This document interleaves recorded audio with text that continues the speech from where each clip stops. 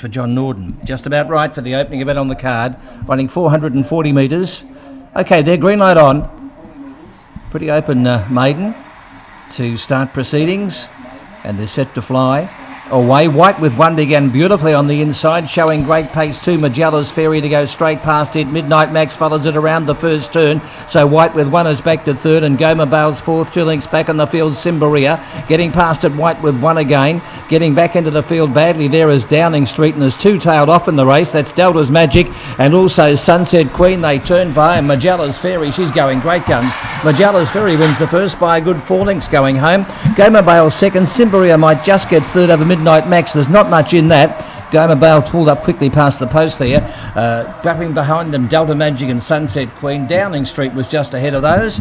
And the time for the opening event's good 25 and 15.